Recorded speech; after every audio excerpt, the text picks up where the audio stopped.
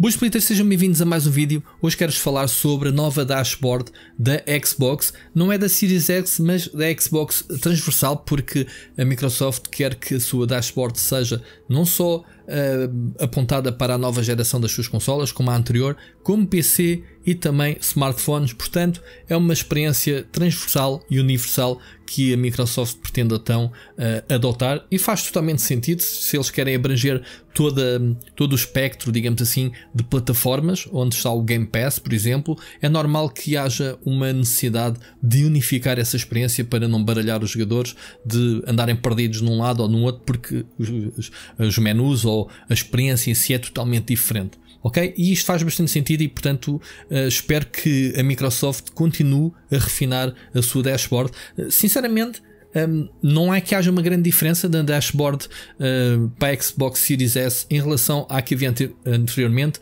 A dashboard até foi atualizada em agosto. Não sei se vai haver uma atualização com algumas, se calhar, algumas novas funcionalidades que estejam de fora e que ainda não foram implementadas, sei lá, como segredo, porque a console ainda não, não saiu.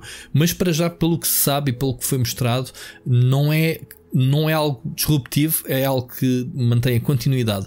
Eu sinceramente não sou grande fã da dashboard da Xbox One.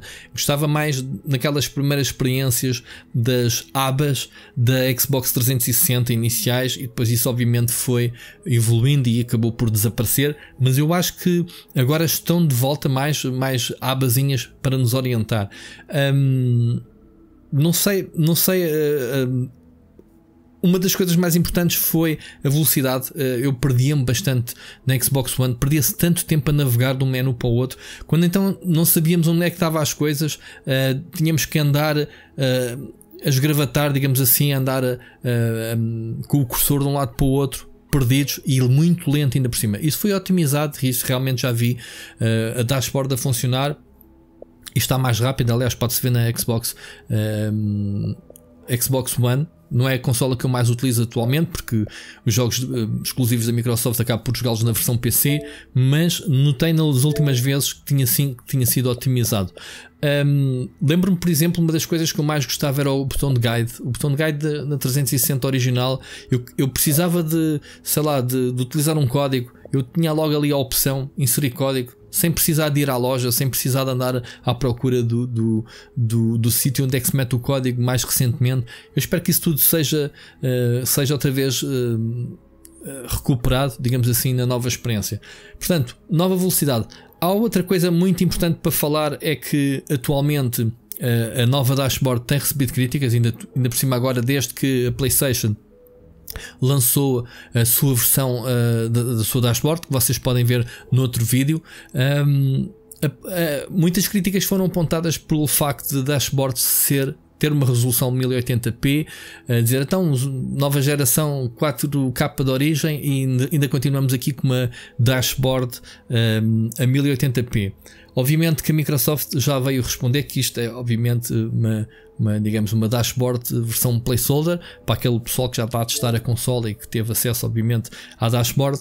Um, vai ser atualizada quando a consola sair no mercado para 4K. Ao que parece, um, a Microsoft adotou este, estes 1080p mesmo para, para a questão da Xbox One uh, Pro, uh, X, desculpem, uh, Xbox One X, dashboard a 1080p Obviamente que nessa altura a dashboard ainda não tinha sido feita de raiz para 4K e portanto foi um upscaling. Um, ao que parece agora já há 4K, só que ainda não saiu. Acho que foi os produtores é que pediram, porque com bastante memória, acho que quase 1 GB de, de, RAM e os produtores eh, queixaram-se e pediram à Microsoft, pelo menos enquanto não se otimizasse a dashboard para comer menos memória, que se otimizasse, que, que se oferecesse esse giga extra, obviamente, para, para, a produção dos jogos. Não sei como é que isso vai acontecer depois, se realmente um, ehm, com a atualização para 4K, se ao mesmo tempo há uma, uma um, ehm, atualização e otimização para que seja leve e que espero que continue rápido e que seja rápido, porque Hoje em dia não, não há tempo a perder para andar de menus. Eu por acaso chatei-me à brava, mesmo às vezes na, na PlayStation 4, eh, queria procurar a demo de um jogo e, e, sei lá, o facto de não estar logo ali à mão, tipo novidade, uma demo, e ter que andar a escrever e à procura, uh, às vezes chateava-me um bocadinho se a experiência não for realmente rápida. Espero que sim, que as duas consolas tenham então esta experiência mais rápida. Um, isto para já é o que se mais nota. Depois temos, obviamente, uma dashboard muito mais. Um, com, com, em vez de haver ícones dos jogos, digamos assim, temos uns cartões, não é cartões como a, como a da PlayStation 5, mas um, um, um, os próprios ícones dos jogos são mais retangulares, têm os cantos arredondados, assim, são mais, mais bonitinhos, mais premium, digamos assim. Não é que isso seja interessante, mas pronto, é, dá-lhe um aspecto mais uh, next gen, digamos assim. Um, cá está. Um, eu espero que o botão guide realmente nos dê, e, e pelo que foi mostrado, mostrou-se muito mais acessível uh, funções do microfone, uh, o search, os amigos, estar logo ali à mão de um toque, em vez de termos que ir ao menu e andar à procura dos amigos. Portanto, é muito importante que o guide seja bastante prático e, e isso parece-me estar outra vez de regresso, ou pelo menos não é que tenha ido embora, mas pelo menos parece-me mais acessível.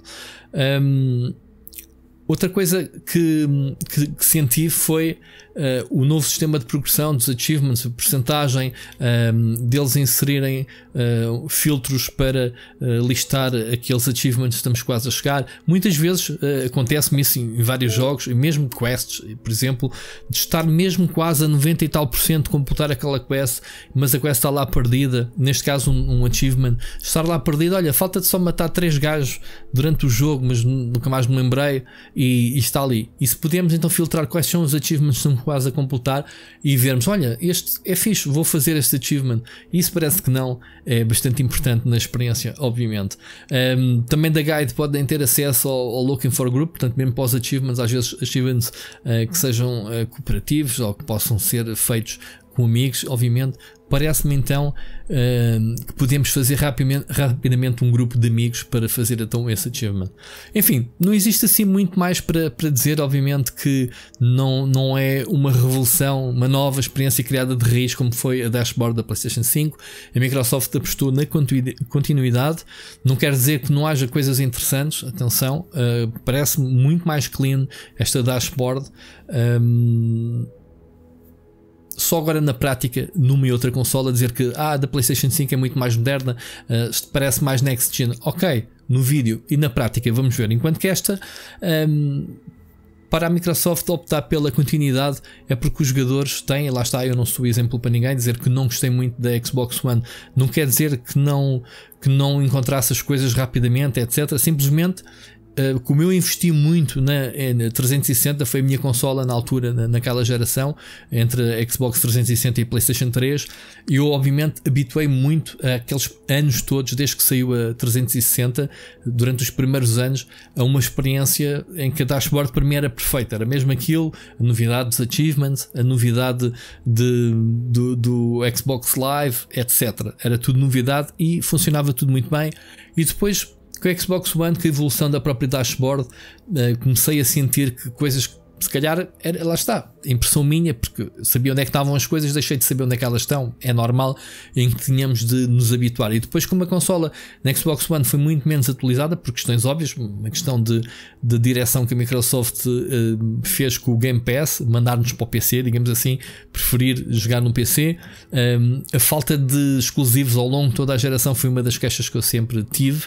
Uh, joguei praticamente todos os exclusivos da Xbox One, mas durante 5 ou 6 anos que de, de vida da consola foram tão poucos, enfim, uh, tão poucos, não significam pouca qualidade, muita qualidade, obviamente, mas poucos que, que me fizesse estar mais tempo uh, de volta da consola e, obviamente, adaptar-me à, à, dashboard. Percebem o que eu quero dizer? Vamos ver nesta nova geração como é que é, uh, onde é que eu vou andar, quais são as consolas que eu, que eu vou jogar, mas para já pareceu-me bem começar a falar nas dashboards, que é a nossa experiência e é aquilo que a gente espera de, das novas consolas nova geração. Malta, não se esqueçam de nos comentários o que é que vocês acharam de, desta pseudo-nova dashboard, se acham que a Microsoft deveria criar algo de raiz, o que é que vos falta, o que é que sentem uh, que a Microsoft realmente faz bem, ou o que é que não faz tão bem, digam nos comentários uh, qual é que vocês preferem a experiência da PlayStation 5, da Xbox uh, Series X em, em, relação à dashboard. Um, não se esqueçam de deixar aquele vídeo para apoiar, aquele vídeo para apoiar, não, aquele like para apoiar este vídeo e vemos no próximo. Um grande abraço.